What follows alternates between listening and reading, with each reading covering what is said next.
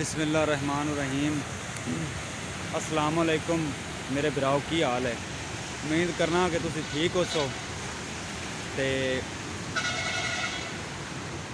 ਮੈਂ ਅੱਜ ਆਇਆ ਆਰਫ ਰੋਡ ਇਹ ਦਿੱਲੂ ਵਾਲਾ ਸਟਾਪ ਹੈ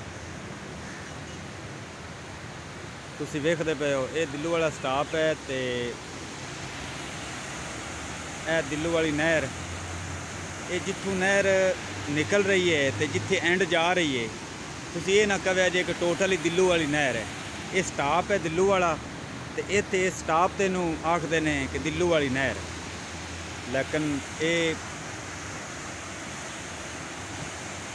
ਮੇਰੇ ਖਿਆਲ ਦੇ ਮੁਤਾਬਕ ਇਹ ਨਿਕਲ ਰਹੀ ਹੈ ਹੈਡ ਸੁਲੇਮਾਨ ਕੀ ਤੋਂ ਤੇ ਅੱਗੇ ਐਂਡ ਤੇ ਜਾ ਰਹੀ ਹੈ ਬਹਾਵਲਪੁਰ ਇੱਕ ਮੇਰਾ ਤਜਰਬਾ ਹੀ ਹੈ, ਮੈਂ ਤੁਹਾਨੂੰ ਇਹਦੇ ਬਾਰੇ ਕਨਫਰਮ ਤਾਂ ਨਹੀਂ ਕਰ ਸਕਦਾ। ਇਹ ਦਿੱਲੂ ਵਾਲਾ ਸਟਾਪ ਹੈ। ਅੱਗੇ ਇਥੋਂ ਆਰਫ ਹੈ 5-6 ਕਿਲੋਮੀਟਰ ਤੇ ਇਸ ਸਾਈਡ ਤੇ ਇੱਧਰ ਸਾਈਵਾਲ ਜਿਹੜਾ ਹੈ, ਉਹ ਤਕਰੀਬਨ ਸ਼ਾਇਦ ਕੋਈ 35-40 ਕਿਲੋਮੀਟਰ ਹੋਣਾ। ਤੇ ਚੈਨਲ ਨੂੰ ਲਾਈਕ ਤਾਂ ਤੁਸੀਂ ਕਰ ਦਿੱਤਾ ਹੋਣਾ ਤੇ ਸਬਸਕ੍ਰਾਈਬ ਵੀ ਕਰੋ। ਤੇ ਪਹਿਲੇ ਵੀ ਵੀਡੀਓ ਇੱਕ ਮੈਂ ਪੰਜਾਬੀ ਵਿੱਚ ਬਣਾਈ ਏ। ਮੇਰੇ ਦੋਸਤਾਂ ਭਰਾਵਾਂ ਦੀ ਇੱਕ ਰਿਕਵੈਸਟ ਆਈ ਕਿ ਸਾਡੀ ਜਿਹੜੀ ਮਾਦਰੀ ਜ਼ਬਾਨ ਹੈ ਉਹ ਤੇ ਪੰਜਾਬੀ ਹੈ ਤੇ ਪਹਿਲੇ ਮੈਂ ਉਰਦੂ ਪੰਜਾਬੀ ਮਿਕਸ ਬੋਲਦਾ ਸਾਂ। ਤੇ ਮੇਰੇ ਭਰਾਵਾਂ ਨੇ ਮੈਨੂੰ ਕਿਹਾ ਹੈ, ਮੇਰੇ ਦੋਸਤਾਂ ਨੇ ਕਿ ਤੁਸੀਂ ਪੰਜਾਬੀ ਵਿੱਚ ਹੀ ਗੱਲ ਕੀਤੀ ਕਰੋ। ਤੇ ਉਹ ਸਾਹਮਣੇ ਜੀ ਟਾਵਰ ਟਾਵਰ ਤੇ ਲੱਗੀ ਹੋਏ ਨੇ ਸੋਲਰ ਪਲੇਟਾਂ ਤੇ ਉਸ ਤੋਂ ਬੈਕ ਸਾਈਡ ਤੇ ਇੱਟਾਂ ਵਾਲਾ ਪੱਠਾ।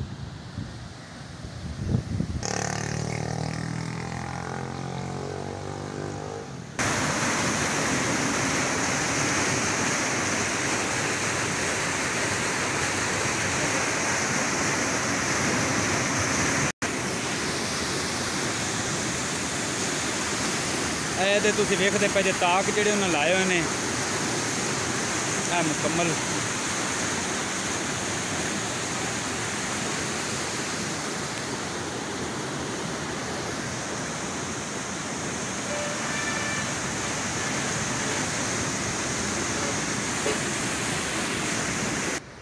ਇਹ ਨਾਲ ਇਹਦੇ ਬਿਲਕੁਲ ਨਹਿਰ ਦੇ ਉੱਤੇ ਹੈ।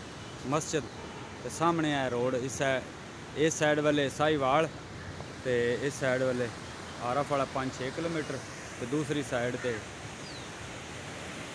ਸਾਈਵਾਲ ਉਹ ਇਥੋਂ ਤਕਰੀਬਨ ਕੋ 35-40 ਕਿਲੋਮੀਟਰ। ਜਿਸ ਤਰ੍ਹਾਂ ਮੈਂ ਤੁਹਾਨੂੰ ਪਹਿਲੇ ਦੱਸ ਰਿਹਾ ਸੀ ਕਿ ਇਹ ਦਿੱਲੂ ਵਾਲਾ ਸਟਾਪ ਹੈ। ਸਾਹਮਣੇ ਤੁਹਾਨੂੰ ਵਿਖਾਇਆ ਸੀ। ਤੇ ਵੈਸੇ ਇੱਥੇ ਦਿੱਲੂ ਵਾਲੀ ਨਹਿਰ ਹੀ ਕਹਿੰਦੇ ਨੇ। ਲੇਕਿਨ ਇਹ ਦਿੱਲੂ ਵਾਲੀ ਨਹਿਰ ਨਹੀਂ ਹੈ। ਇਹ ਸਟਾਪ ਦਿੱਲੂ ਵਾਲਾ ਹੈ।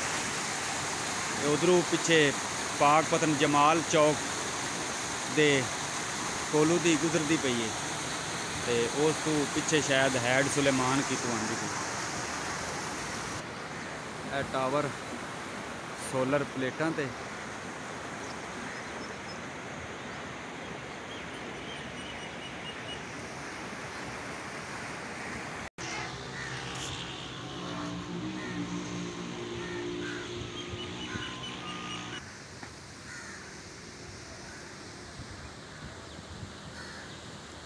ਜਿਹੜੀ ਗੱਡੀ ਗੁਜ਼ਰੀ ਹੈ ਇਹ ਜਾ ਰਹੀ ਹੈ ਜੀ ਆਰਫ 5-6 ਕਿਲੋਮੀਟਰ ਤੇ ਆਰਫ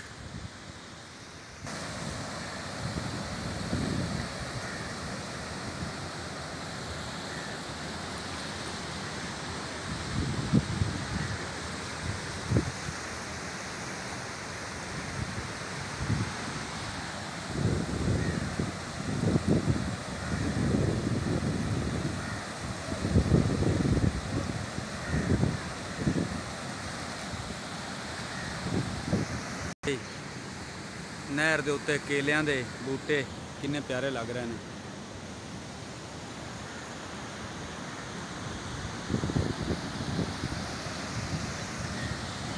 ਤੇ ਚੈਨਲ ਨੂੰ ਸਬਸਕ੍ਰਾਈਬ ਵੀ ਕਰੋ ਤੇ ਲਾਈਕ ਵੀ ਕਰੋ ਤੇ ਕਮੈਂਟ ਵੀ ਕੀਤੇ ਕਰੋ।